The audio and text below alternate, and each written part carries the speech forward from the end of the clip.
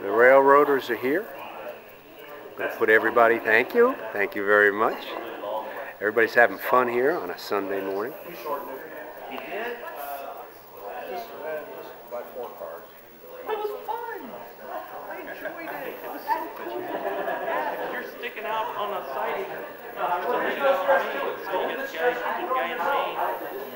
My buddy, six-year-old Mario, has joined me from the Trade Winds and Atlantic Railway with his parents and grandpa.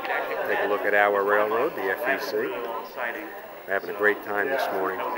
If you've missed it, you've really missed out. This has been a sensational time this year.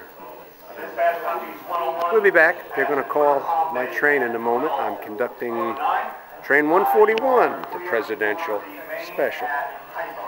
I'll be back.